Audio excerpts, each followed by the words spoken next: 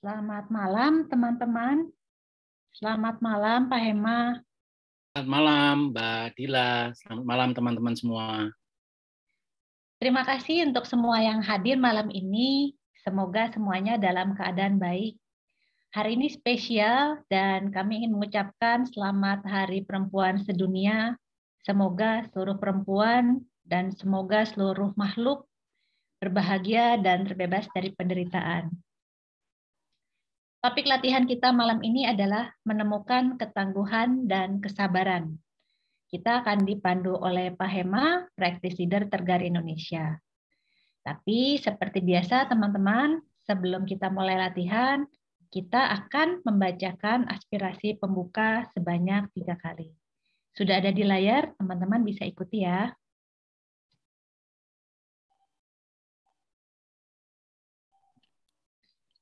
Dengan kewelas asihan tanpa dengan kewelas asihan dan kebijaksanaan tanpa batas, saya akan bekerja demi kesejahteraan semua.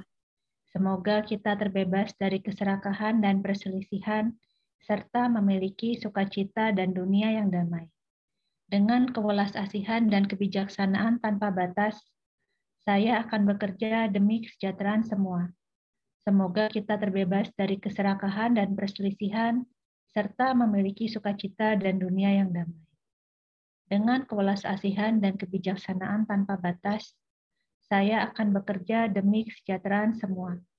Semoga kita terbebas dari keserakahan dan perselisihan, serta memiliki sukacita dan dunia yang damai.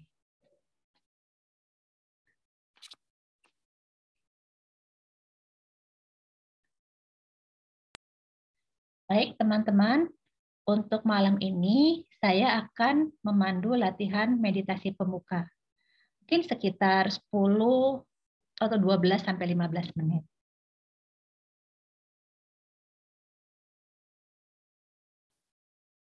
Karena kita semua masih pemula, ada baiknya kita secara sadar mengurangi distraksi.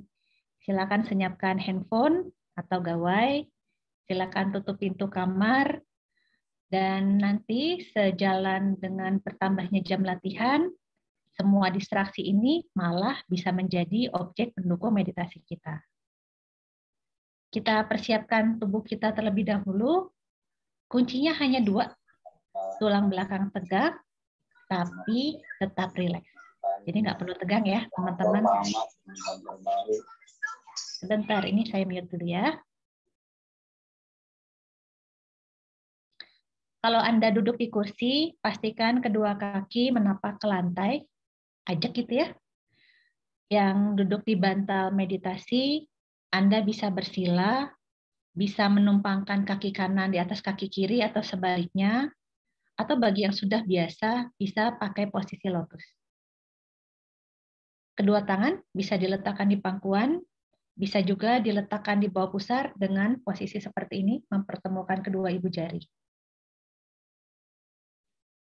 Mata boleh dibuka bagi yang bisa dan atau boleh dipejamkan. Tapi bagi yang memejamkan mata, kalau nanti badannya mulai goyang-goyang atau tiba-tiba Anda melihat cahaya, langsung segera buka matanya.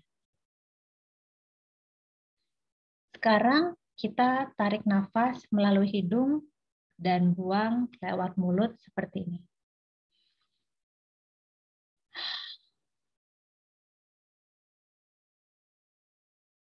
Kita lakukan sama-sama sebanyak tiga kali.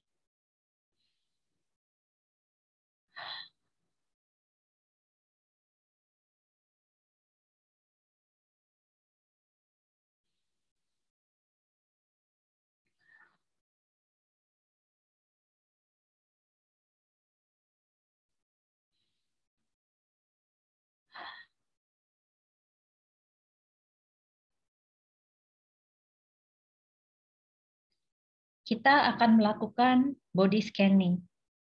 Tujuannya adalah menyadari tubuh kita. Ketika bagian tubuh disebutkan, bahwa kesadaran Anda pada bagian tubuh tersebut. Sadari tubuh Anda. Mulai dengan menyadari daerah kepala.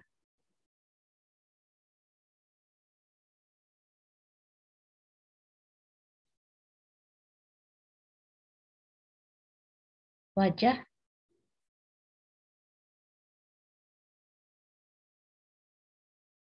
leher,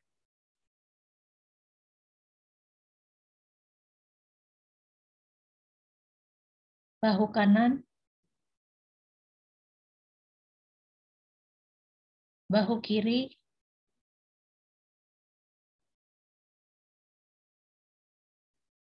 area dada,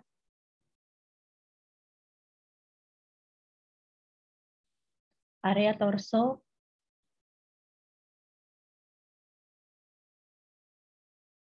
pinggang, pinggul, bokong yang menekan ke kursi atau bantal meditasi, paha kanan, paha kiri, tungkai bagian kanan, tungkai kiri, telapak kaki kanan, telapak kaki kiri.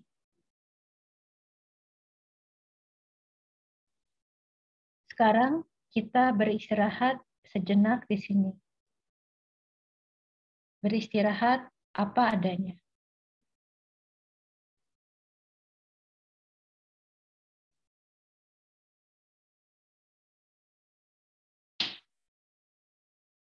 Tidak perlu melakukan apa pun Tidak perlu memblok pikiran. Tidak perlu mengubah emosi.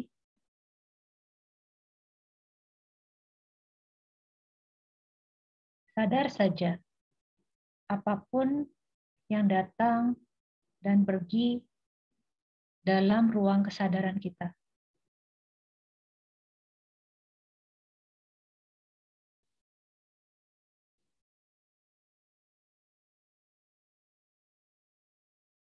Simply present. Hadir saja.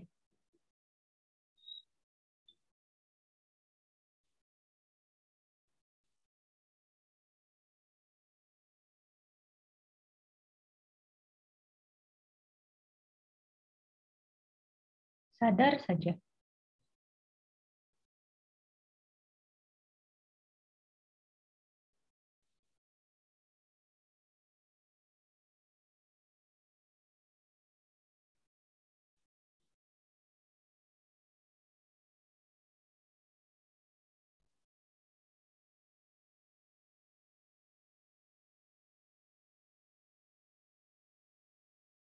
Kalau di sekeliling Anda ada suara, sadari suara itu.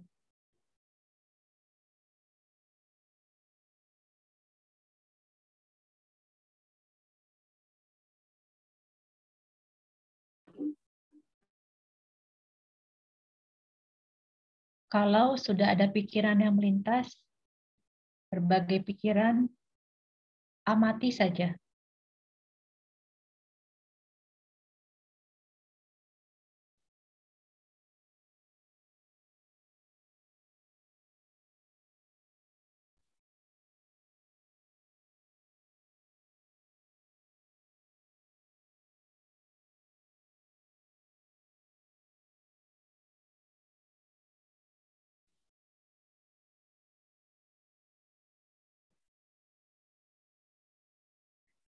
kalau saat ini ada sensasi di tubuh seperti rasa gatal atau pegal, perhatikan di mana rasa gatal atau pegal itu.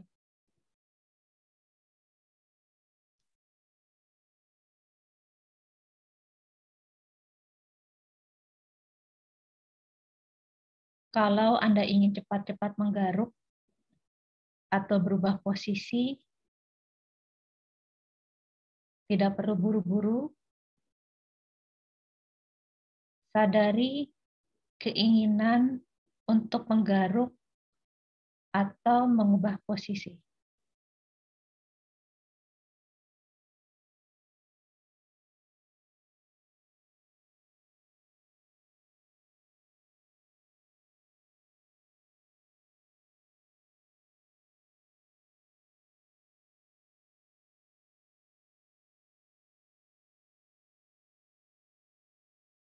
Baru Anda benar-benar menggaruk atau mengubah posisi. Kalau tidak ada sensasi, juga tidak apa-apa. Sadar saja.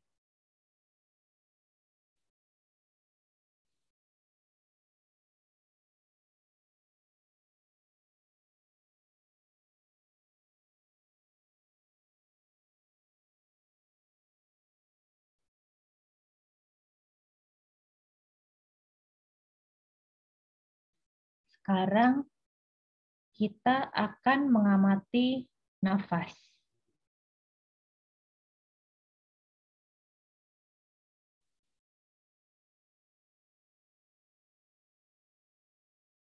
Amati nafas yang keluar masuk melalui hidung.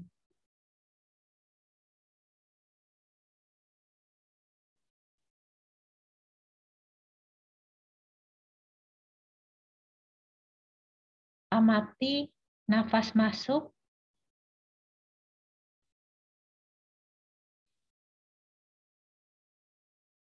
amati nafas keluar.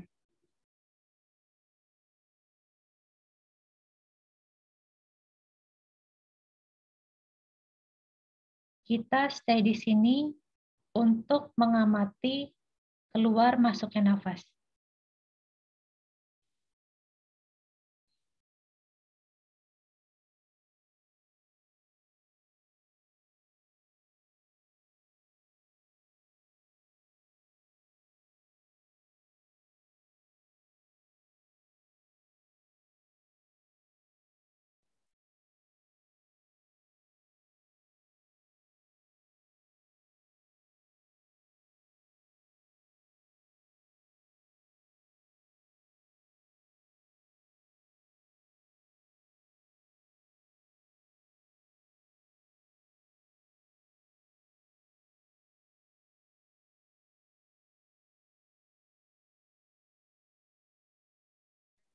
Sekarang amati ketika nafas masuk, bagian tubuh mana yang mengembang?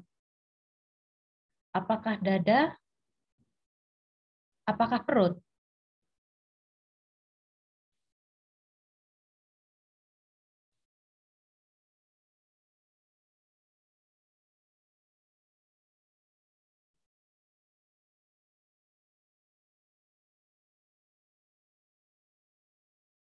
Ketika nafas keluar, amati bagian mana yang mengempis. Apakah perut ikut mengempis atau tetap?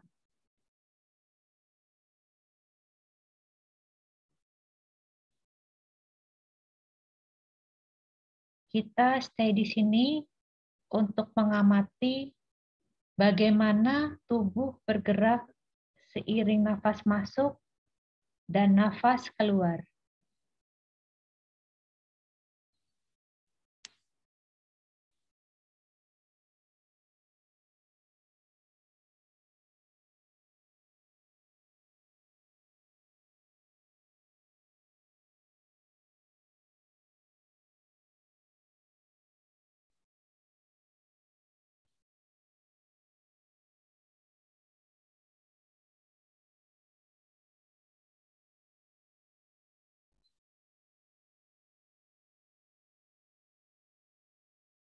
Nafas kita terjadi secara alami,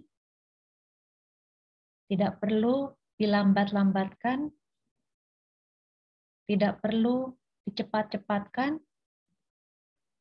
bernafas normal apa adanya. Hanya mengamati gerak tubuh ketika nafas masuk dan keluar.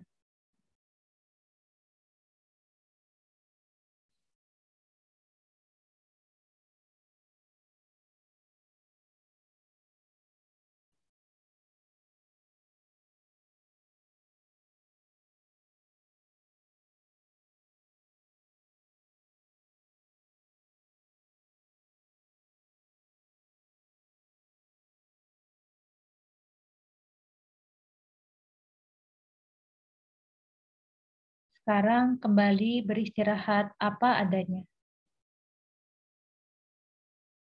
Sadari apa pun yang masuk dan keluar dalam ruang kesadaran Anda. Suara, pikiran, emosi, sensasi, nafas, amati saja.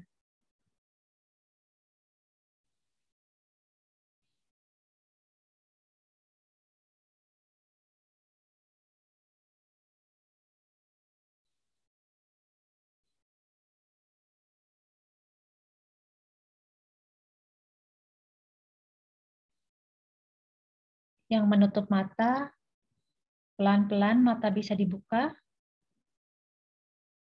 Tidak perlu lagi meditasi, tapi tidak hanyut.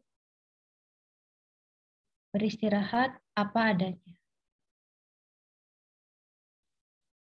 Sadar saja.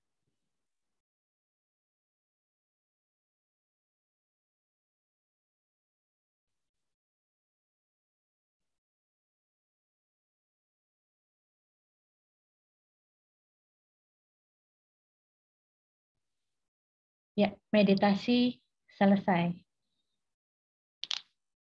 Bagaimana teman-teman?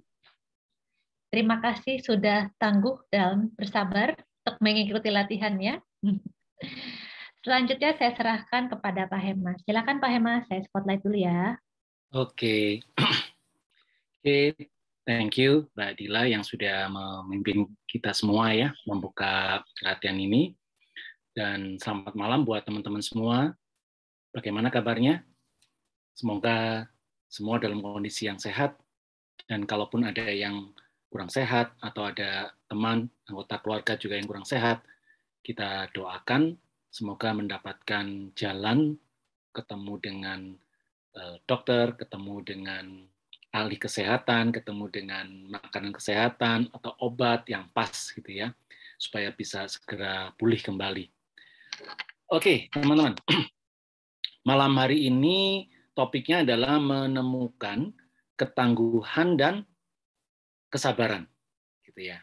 Kita hari ini akan berbicara tentang ketangguhan dan kesabaran. Nah, eh, apa sih yang menyebabkan kita mengangkat topik ini gitu?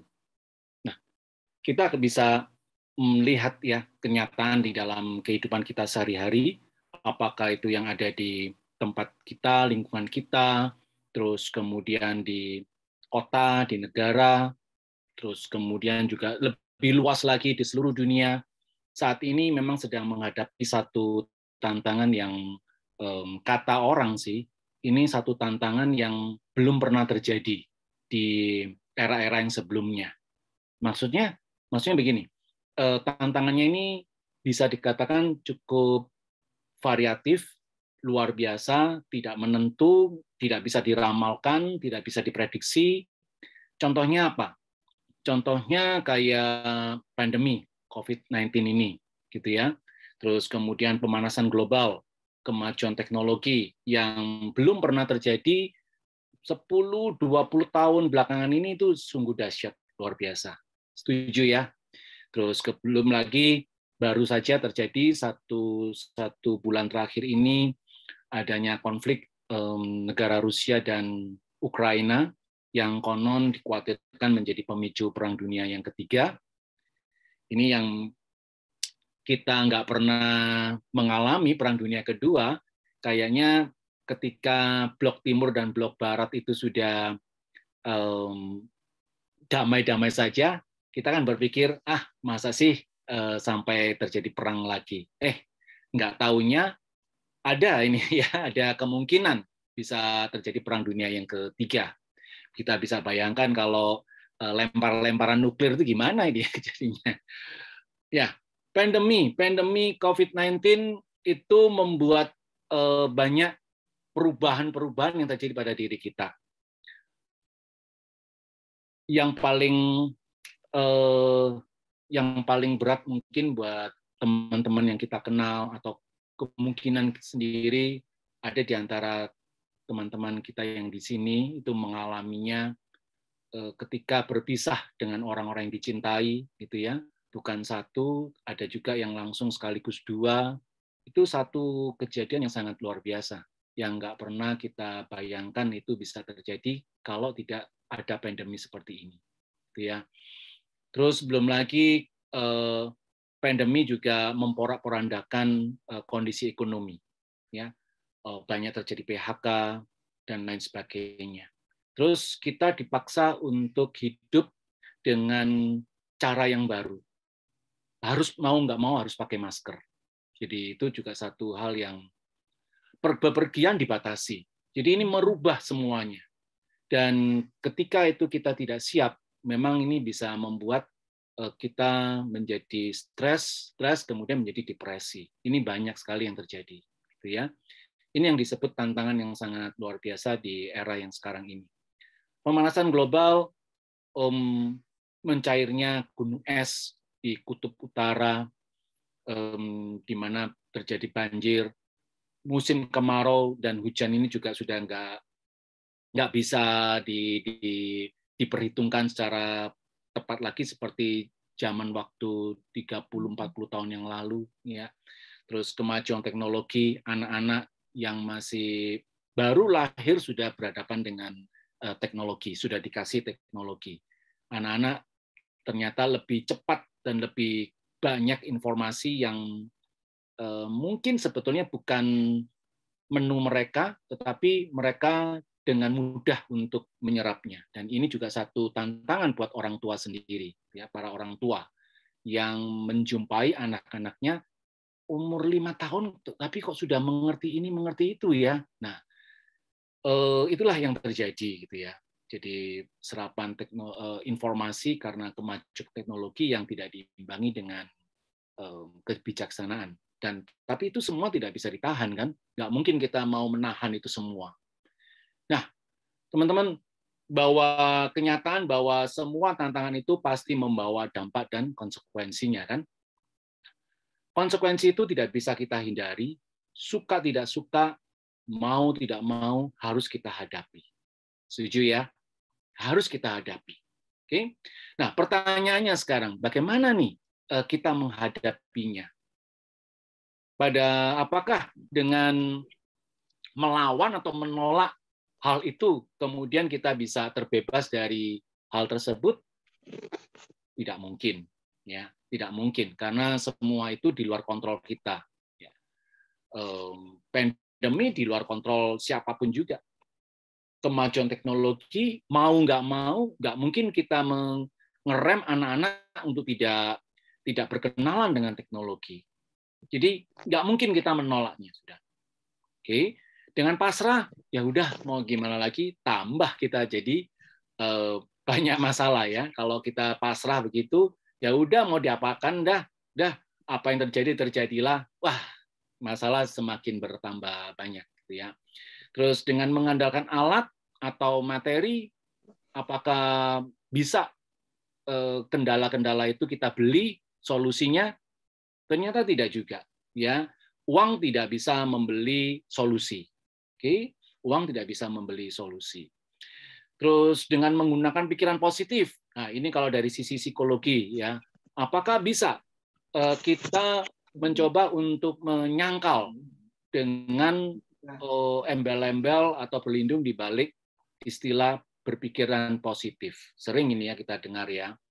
Eh, cobalah untuk berpikir positif, cobalah untuk berpikir positif. Semakin kita memaksa diri kita untuk berpikir positif, justru bertambah masalah di dalam diri kita. Itu seperti bom waktu, ya. sewaktu-waktu bisa meledak.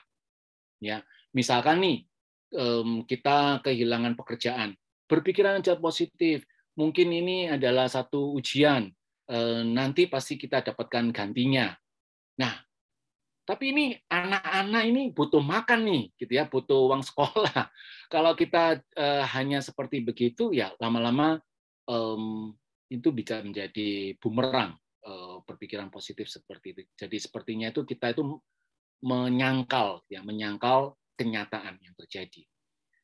So, apa nih yang harus dilakukan?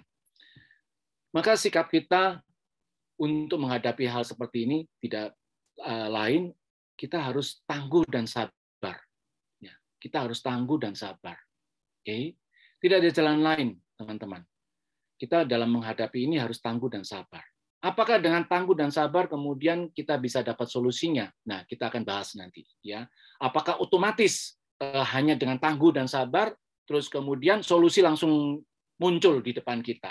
Kita akan bahas um, apa peran atau sikap tangguh dan sabar kita dalam menghadapi tantangan ini. Oke, nah teman-teman, mungkin juga ada di banyak di antara kita yang sudah bosan gitu ya mendengar kata tangguh, sabar, sudah sabar aja, sudah yang sabar, eh, apa namanya kita harus tangguh. Nah, tapi gimana caranya? Kayaknya nggak mungkin dalam kondisi seperti ini saya diminta untuk tangguh ya saya diminta untuk sabar. Nah, teman-teman, di sinilah persoalannya. Kenapa?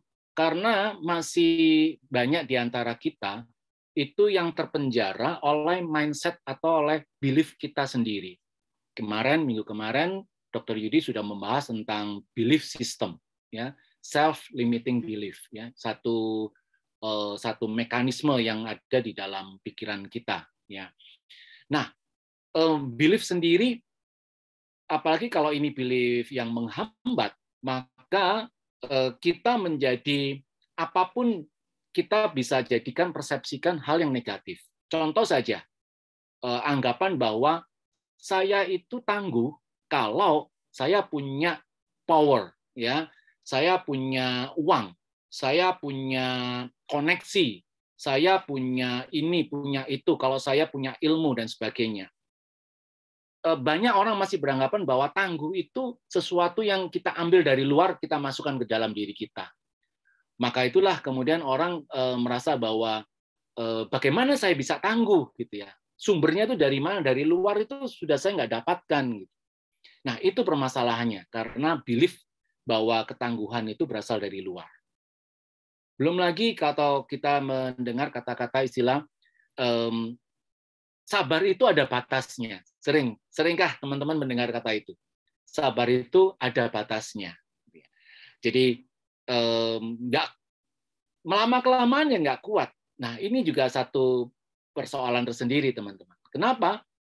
Sabar itu bukan berarti kita diminta untuk menahan. Nah ini pemahaman sabar adalah menahan, menahan supaya kita itu tidak emosi, tidak marah, tidak kecewa, tidak sedih, ini juga satu kendala akhirnya menjadi eh, self limiting belief ya. Sehingga ketika kita menghadapi persoalan ya kita seolah-olah menjumpai jalan yang buntu nggak bisa ngapa-ngapain lagi. Eh, akhirnya ya tadi eh, tindakan kita adalah pasrah gitu. pasrah atau melawan atau menyangkal gitu. Oke nah terus gimana ini? Jadi sebetulnya begini teman-teman sumber ketangguhan dan kesabaran yang langgeng ini menurut guru kita ya Minjurin Poce di dalam sebuah tulisan saya membaca beliau mengatakan bahwa sifat sejati dari kesadaran kita itu adalah sumber ketangguhan dan kesabaran yang langgeng. Jadi sebetulnya ketangguhan dan kesabaran yang langgeng yang tidak ada batasnya itu tadi itu sebetulnya sudah ada di dalam diri kita ya kenapa karena itu adalah sifat sejati dari kesadaran kita jadi di dalam kesadaran sejati eh, di dalam kesad, ke, di dalam kesadaran sejati ya kita inilah di situ kita eh, mengalami yang namanya tangguh dan sabar tadi itu. Jadi bukan dari sesuatu yang dari luar, tetapi sebetulnya sudah ada di dalam diri kita. Nah, eh, bagaimana kok bisa seperti itu? Nah, ini ada satu um, fakta bahwa kalau kita bicara soal awareness, kesadaran, seperti tadi Mbak Dila menuntun kita di dalam meditasi, cukup disadari saja. Cukup disadari saja. Apa-apa cukup disadari saja. Kita nggak perlu ngapa-ngapain. Kita nggak perlu membuat nafas kita tuh jadi relax, jadi normal, jadi apa. Nggak usah. Ya biarin aja. Cukup disadari saja. Kalau begitu kesadaran ini apa sih? Kok bisa membuat kita menjadi tangguh dan sabar. Kesadaran itu diibaratkan seperti langit, ya. Langit itu eh, kita bisa tahu langit karena ada awan. Kalau kita lihat awan, awan itulah yang berubah-ubah. Tapi langitnya nggak akan pernah berubah. Awan silih berganti, bentuknya yang eh, lonjong, yang bulat, yang eh, baik, yang bagus, yang jelek, berubah-ubah. Tapi langit tidak. Ya, itulah sifat kesadaran, tidak pernah berubah. Kesadaran tidak terpengaruh oleh segala fenomena kehidupan apa pun. Jadi di luar diri kita terjadi apa pun juga eh, perasaan kita yang terseret, perasaan kita suka tidak suka, tapi kesadaran tidak terpengaruh oleh eh, perasaan tersebut ya yang dipicu oleh keadaan yang ada di luar diri kita. Jadi kesadaran itu bebas dari pengaruh. Kesadaran itu di luar rasa sakit, di luar rasa senang, penderitaan maupun kegembiraan tidak bisa hancur ataupun dihancurkan, tidak bisa mati, tidak bisa dihentikan, dan selalu ada bersama kita. Dan terakhir adalah kesadaran memberi stabilitas internal, terlepas dari keadaan apa pun. Maksudnya, maksudnya adalah bahwa apa pun yang terjadi di luar eh, yang membuat kita terkondisi punya pikiran yang positif atau pikiran negatif, terus kemudian perasaan yang suka dan tidak suka, senang dan tidak senang. Kesadaran ada di luarnya. Kesadaran bukan bukan dari eh, kesadaran itu bukan pikiran maupun perasaan kita. Jadi dia terlepas dari keadaan apa pun. Maka rumusannya sekarang adalah bagaimana kita bisa eh, tangguh dan sabar itu tadi kita cukup dengan mengenali dan beristirahat dalam kesadaran itu sendiri.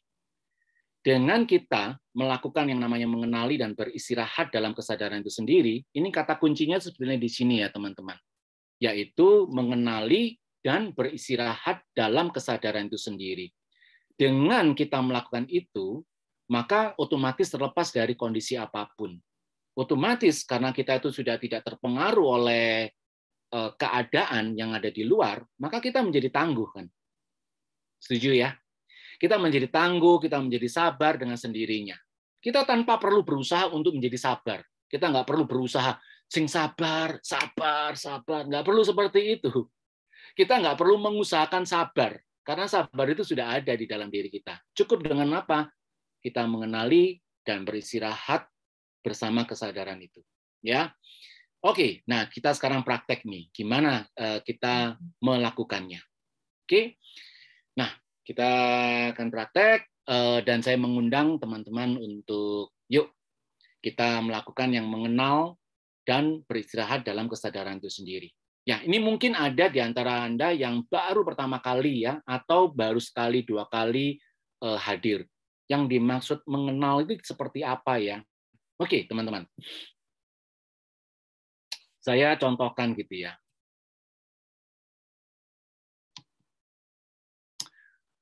Oke, uh, kalau saya saya contohkan ya, saya uh, coba tepuk tangan ya, saya menepuk tangan. Oke, apakah anda mendengar suara saya, suara tepukan saya? Pada saat Anda tahu bahwa Anda mendengar tepuan itu, itu yang disebut mengenal. Jadi, mengenal apa? Ya, karena ada kesadaran, makanya Anda tahu.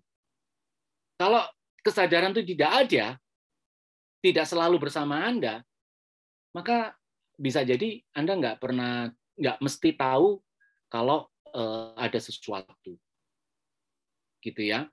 Jadi itulah yang disebut mengenal. Mengenal berarti mengetahui, knowing ya. Tahu tahu. Tahu ada suara tahu ada bentuk tahu ada sensasi tahu ada pikiran tahu ada perasaan. Pokoknya tahu. Itulah yang disebut mengenal ya mengenal. Nah terus kemudian beristirahat di dalam kesadaran ya. Nah apa yang um, dimaksud dengan beristirahat di dalam kesadaran? Um, kalau teman-teman habis berolahraga atau bekerja cukup keras gitu ya kemudian ah merasa lega gitu. Rileks tetapi tidak melamun. Walaupun rileks, batinnya rileks tetapi tidak melayang-layang, tidak lari sana lari sini. Nggak ngelakuin apa-apa, nggak berusaha untuk tenang, nggak berusaha untuk rileks. Ya rileks itu apa adanya. Secara alami kejadian seperti itu aja. Beda dengan orang melamun gitu ya. Orang melamun itu kelihatannya uh, bengong, tapi uh, pikirannya nggak tahu ke mana. Itu melamun. Tapi ini beristirahat dalam kesadaran itu ya seperti orang seperti ya seperti teman-teman seperti orang itu bengong tapi sadar tahu gitu tidak larut tidak terhanyut oleh uh, perasaan maupun pikiran nah, itu yang akan kita lakukan oke kita akan praktek ya Eh, saya mengundang teman-teman untuk mengambil posisi, menyiapkan posisi, postur tubuhnya, eh, seperti yang tadi disampaikan oleh Mbak Dila. Cukup dua poin saja yang perlu kita lakukan. Tegakkan tulang punggung, jadi tulang belakangnya tegak lurus. Tetapi rileks. Poin kedua adalah rileks.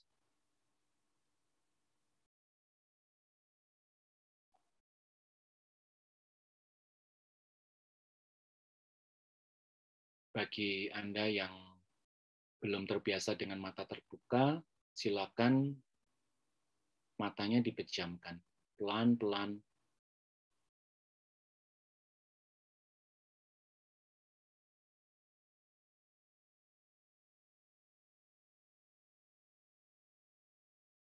Oke, kita sekarang akan menghirup atau menarik nafas panjang melalui hidung, tahan tiga hitungan, lepas lewat mulut, ada jeda di situ, di situlah kita beristirahat apa adanya.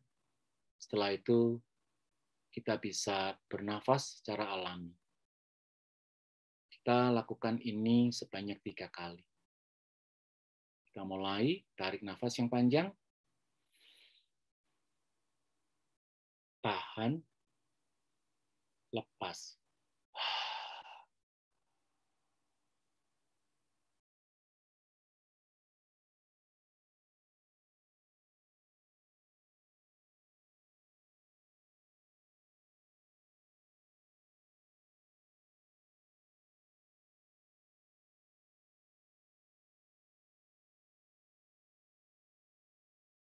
Bernafas biasa secara alami.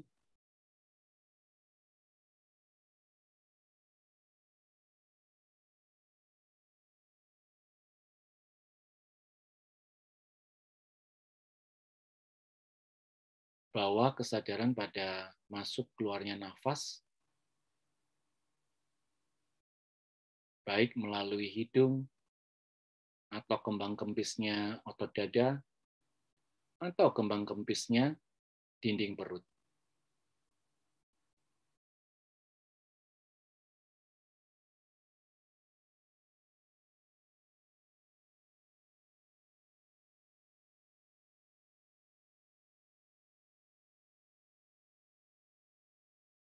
Kita lakukan lagi, tarik nafas yang panjang, tahan tiga hitungan, lepas atau dorong lewat mulut.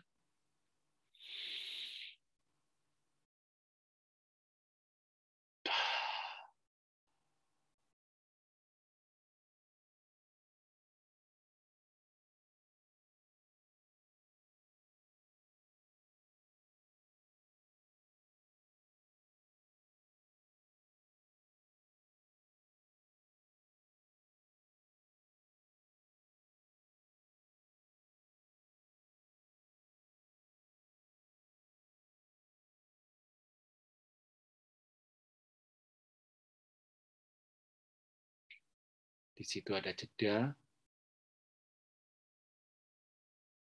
Bernafas biasa. Bernafas alami.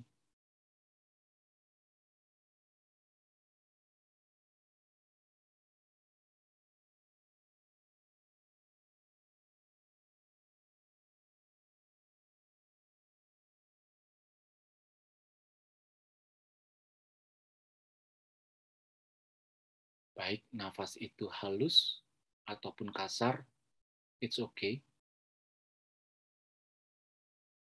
Tidak perlu dicari nafasnya.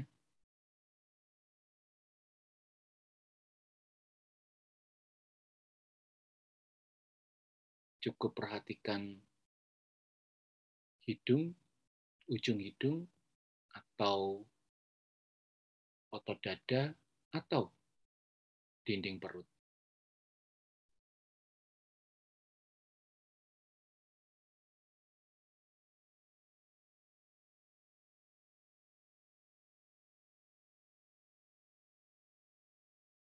Sekali lagi, tarik nafas yang panjang.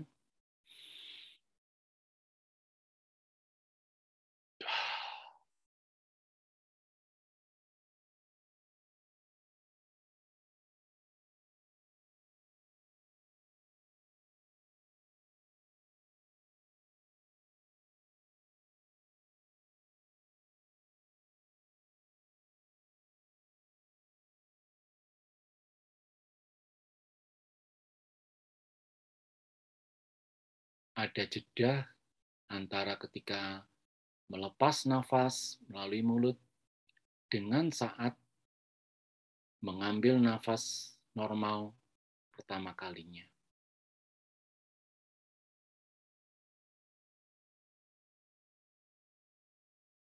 Ada gap di situ.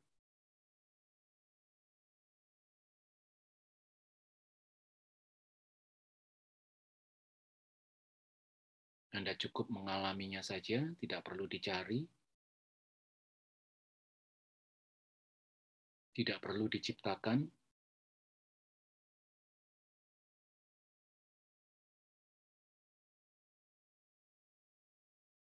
Sorry, tidak perlu menciptakan.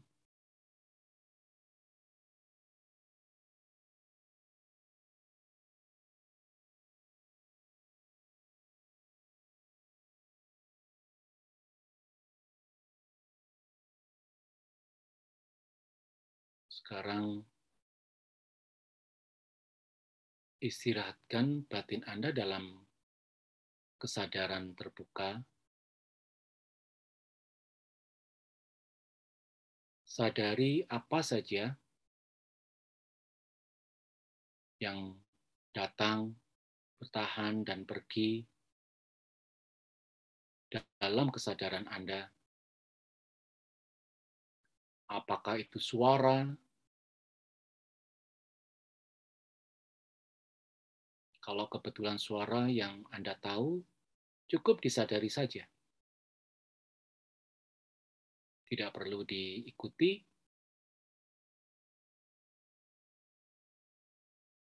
Sadar dan kembali beristirahat.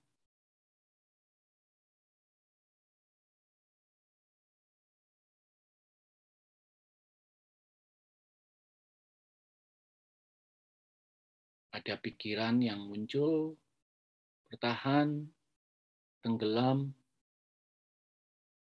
it's okay. Tidak perlu ditahan.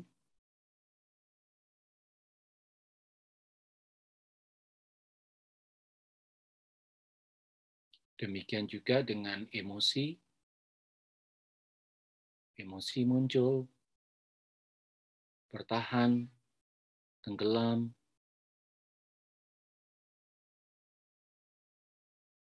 Semua fenomena terjadi di dalam kesadaran kita.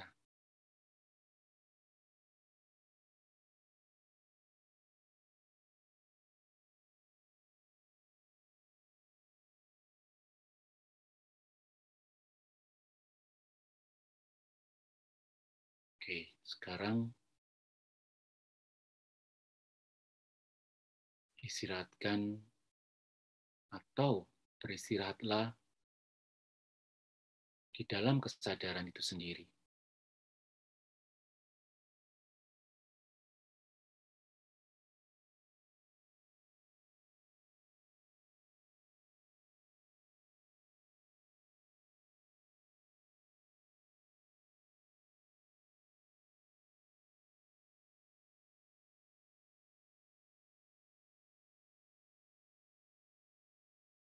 Istirahat apa adanya, namun tidak terhanyut. tidak perlu berusaha untuk beristirahat.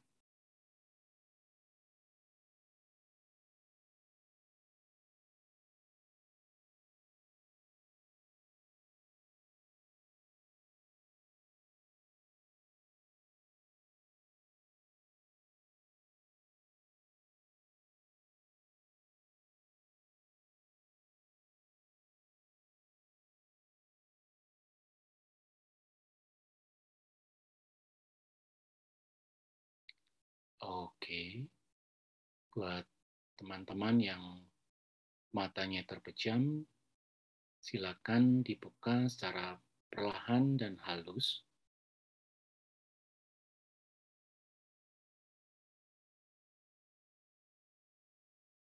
Oke, cukup. Ya. Oke, gimana? Teman-teman, uh, apakah bisa mengikuti?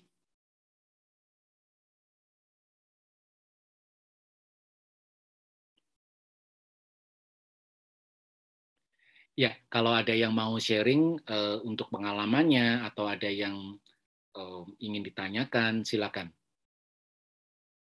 Mungkin masih ada yang bingung di mana ya tangguhnya, di mana ya sabarnya itu ya. Mungkin ada yang masih mencari-cari di mana tangguhnya, di mana sabarnya.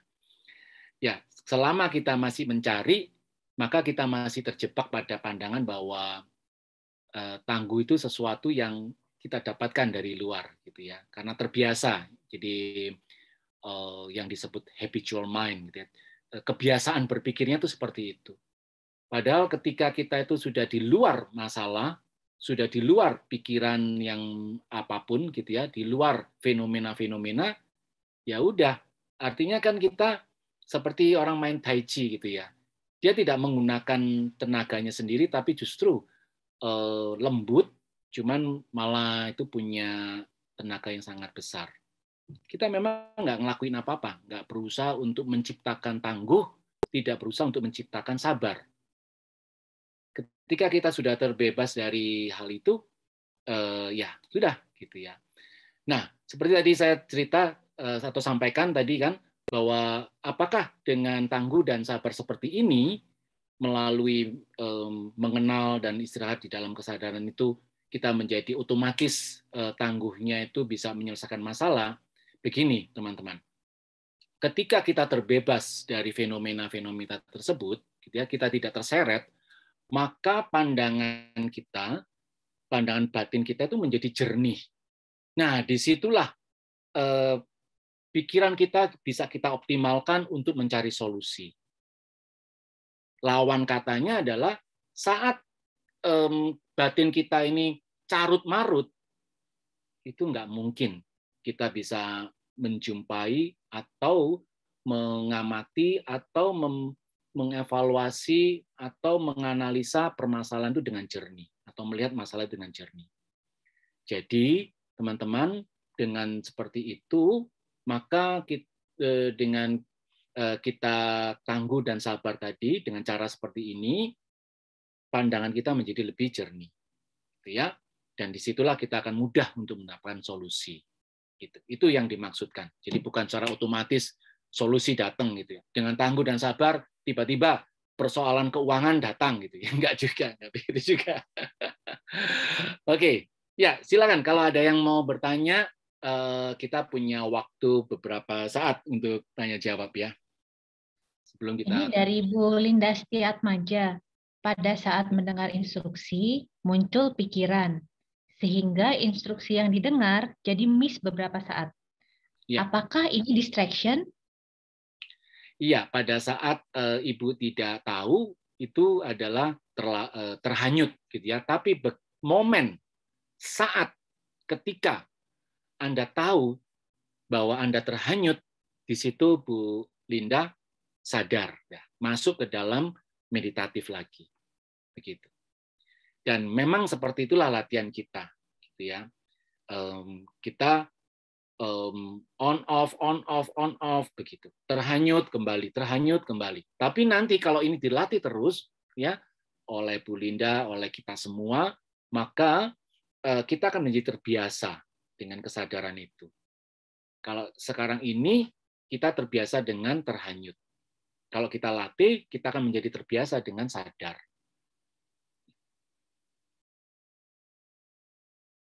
Teman-teman yang mau share juga silakan ya, bisa raise hand, nggak mesti nanya, tapi mau sharing juga oke, okay, ya. biar kita bisa saling belajar ya Pak Hema ya. Boleh lewat kolom chat, ya. boleh raise hand, nanti kami unmute. Terima kasih. Betul sekali.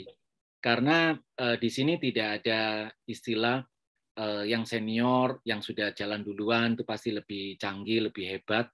Tetapi kita di sini yang paling utama adalah latihan. siapa pun juga gitu ya. Latihan, latihan dan latihan. Kuncinya adalah latihan.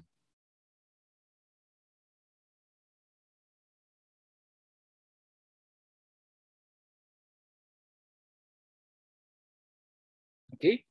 Kalau tidak ada, kita akan coba lagi latihan ya. Kita akan praktek lagi ya supaya mungkin lebih rasa gitu. Uh, Oke, tapi sebelum saya masuk lagi, ada nggak yang nggak tidak mengerti atau masih sulit untuk ini maksudnya apa sih gitu ya? Mungkin ada instruksi-instruksi yang membuat eh, teman-teman tuh jadi ini diminta apa sih? Di, diinstruksikan untuk ngelakuin apa sih gitu. Sebelum saya masuk um, ke ke ininya.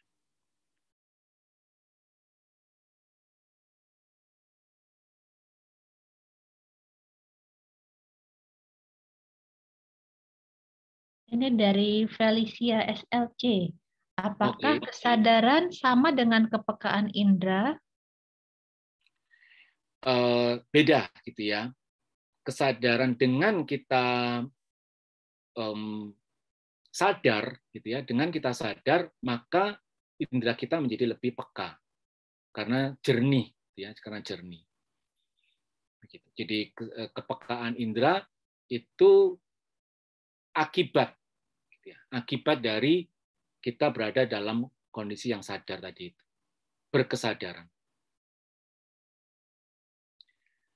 Oke, kita akan latihan lagi. Um, ya kita manfaatkan waktu yang kita ini. Nah, ini ada lagi. Ini dari sharing dari S21 Ultra milik Mulia. Hati yang damai, pernapasan yang teratur, akan membawa kita ke dalam suasana kesadaran yang tangguh. Oke, uh, saya nggak tahu ini maksudnya bertanya atau memberikan sharing, tetapi yang um, kalimat ada kalimat yang menarik di situ um, pernapasan yang teratur ya, Mbak Dilay. Iya, pernapas hati yang damai, pernapasan yang teratur akan membawa kita ke dalam suasana kesadaran yang tangguh. Oke, ya. Eh, nah, di sinilah uniknya teman-teman ya, bahwa eh, kita untuk mengenali kesadaran justru kita tidak bergantung pada hati yang damai atau pada pernafasan yang teratur. Mau nafas teratur, mau tidak, mau hati yang lagi galau, mau damai, eh, semuanya oke. Semuanya oke, maksudnya oke itu bisa kita pakai, kita gunakan sebagai pendukung untuk mengenali kesadaran. Jadi yang perlu kita garis bawahi di sini adalah kegiatan kita di sini itu mengenali kesadaran kita, mengenali yang tahu, gitu ya, yang tahu. Nah, untuk apa kita bisa mengenali yang tahu? Ya tadi di dalam slide ada penjelasannya bahwa dengan kita mengenali yang tahu, eh, kita bisa secara pengalaman yang kita alami adalah batin kita menjadi lebih stabil gitu. Karena kita berada di dalam kesadaran.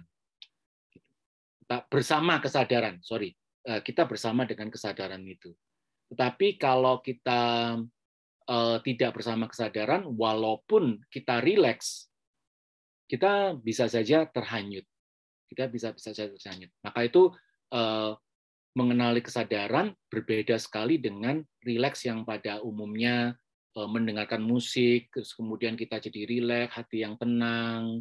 Nah, itu bukan bukan seperti itu maksud dari meditasi atau mengenali kesadaran. Jadi mengenali kesadaran apa pun suasana hati kita, it's okay. Ini ada pertanyaan dari Kelvin Sun. Apakah kesadaran itu sama dengan atensi penuh pada batin? Oke, okay. um, atensi penuh di sini ini hati-hati gitu ya. Um, pada tahapan awal atau pada pada pada tahapan tertentu uh, bisa iya, tetapi kesadaran atau awareness itu uh, lebih dari sekedar uh, perhatian penuh tadi itu. Karena kalau perhatian penuh yang dimaksud di sini adalah fokus, itu bukan apa namanya tidak dimaksudkan di sini sebagai meditasi.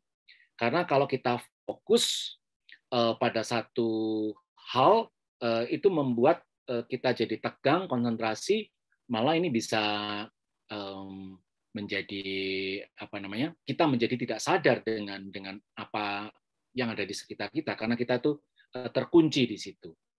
Ya sama seperti yang pernah dokter Yudi berikan contoh seperti orang operasi gitu ya. Karena dia tuh terlalu fokus konsentrasi eh, maka bisa jadi dia ter, eh, ter terkunci di di situ bukan tapi yang dikatakan sebagai mengenali kesadaran atau meditasi itu lebih luas daripada itu jadi kita tidak perlu sampai fokus pada satu titik, maka itu mau ada pikiran datang, pergi, kita tahu semuanya. Ada perasaan muncul, jadi berubah-ubah, is okay, tidak ada masalah. Bedanya di dengan perhatian penuh itu di situ. Nah, Mas, satu pertanyaan Tapi kembali terakhir, lagi ya, perhatian penuhnya itu apa eh, maksudnya ya definisinya? Iya, kita latihan dulu. terakhir ya, Pak Hema. Oh, oh boleh okay. satu oh, iya, terakhir iya, ya. Satu. ya. Ini ya. dari Pak BR Yuwono. Kenapa napas tidak teratur? Apa baru pertama? Uh, it's okay. Nafas tidak teratur uh, banyak hal uh, yang yang menjadi sebab gitu ya. Tapi kita tidak perlu um, apa namanya menjadikan itu sesuatu kendala. Lu nafas saya kok nggak teratur. Tahu kalau nafasnya tidak teratur itu adalah meditasi anda berada di dalam kesadaran Anda. Itu oke, okay, gitu ya. Tapi kalau ditanya apa sebabnya kok nafasnya bisa tidak teratur, eh, menjadi mungkin ada faktor-faktor lain, faktor fisik atau faktor-faktor eh, mental yang lain ya membuat nafas itu tidak menjadi tidak teratur. Gitu penyebabnya, gitu ya. Tetapi apakah dengan seperti itu tetap kita bisa bermeditasi? Tetap bisa, karena itu juga bisa dipakai sebagai objek meditasi Anda. Tahu kalau nafasnya itu eh, naik turunnya itu kasar atau naik turunnya lembut, cepat atau lambat, itu tahu semua. Karena yang penting kata kuncinya adalah tahu, knowing. Oke, uh, kayaknya kita tinggal waktu cuma dua menit, nggak apa-apa ya. Uh, coba apa namanya tegak luruskan tulang belakang, tulang punggung Anda, dan tetap rileks.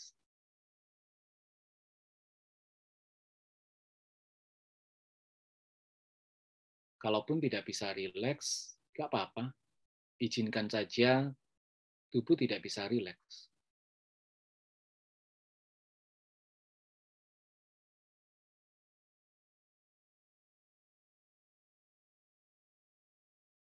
istirahatkan batin kita dalam kesadaran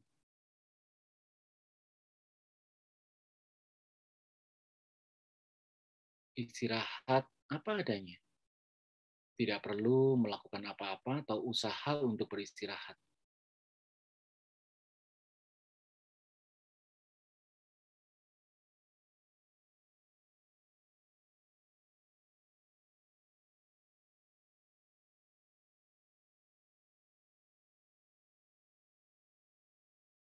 batin beristirahat tetapi tidak terhanyut.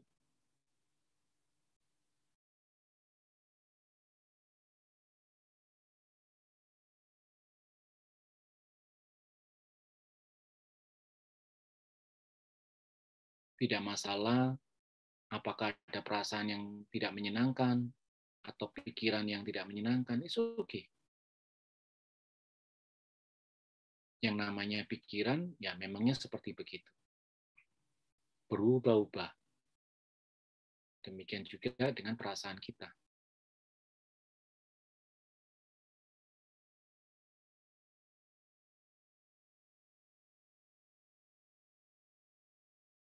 Oke.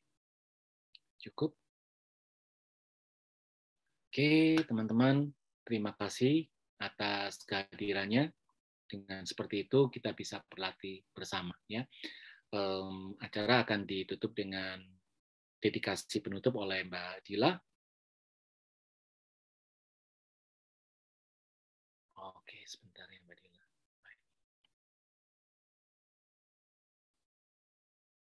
Ini kalau teman-teman berkenan untuk mensupport kegiatan kita, ya silakan uh, bisa transfer di BCA ya, dengan nomor tertera Yayasan Terkar Indonesia.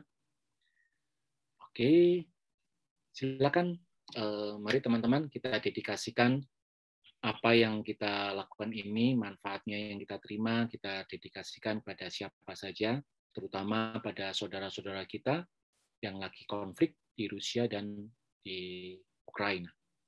Silakan Mbak Dila. Terima kasih Pak Hema, terima kasih teman-teman. Mari kita dedikasikan semua kebaikan latihan ini tidak hanya untuk diri kita, tapi juga semua makhluk.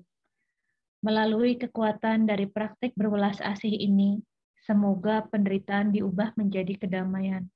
Semoga hati semua makhluk terbuka dan kebijaksanaan mereka memancar dari dalam. Melalui kekuatan dari praktik berwelas asih ini, Semoga penderitaan diubah menjadi kedamaian. Semoga hati semua makhluk terbuka dan kebijaksanaan mereka memancar dari dalam. Melalui kekuatan dari praktek berwelas asih ini, semoga penderitaan diubah menjadi kedamaian. Semoga hati semua makhluk terbuka dan kebijaksanaan mereka memancar dari dalam. Baik semuanya, terima kasih banyak sudah hadir. Terima kasih Pak Hema. Sampai bertemu di minggu depan. Terima kasih. Selamat malam. Terima kasih. Terima kasih teman-teman semua. Terima kasih Pak Hema. Terima kasih Pak Hema. Terima kasih Pak Hema.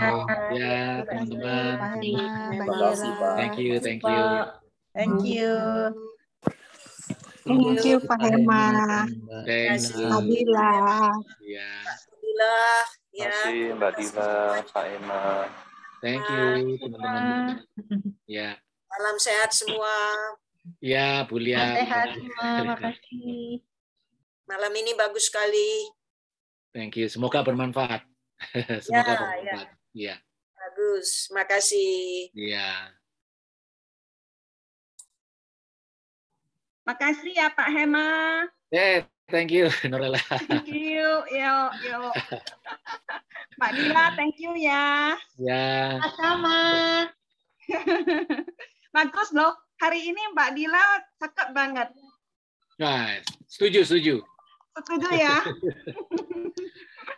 Kayaknya umurnya bukan bertambah tapi tambah mundur ini. Berkurang. Iya, benar. Ayo Secara banget. sadar GR, eh di, di stop dulu recordingnya nih nih. Iya. Thank you Pak Hema. Thank you. Thank you, Mbak thank you. Dila. Thank you. Oke, sampai ketemu em, di latihan yang lain.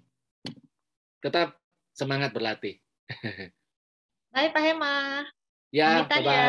Ya, Ah, saya juga mau pamit. Saya pamit dulu ya, teman-teman semua. Sehat selalu dan berlatih terus.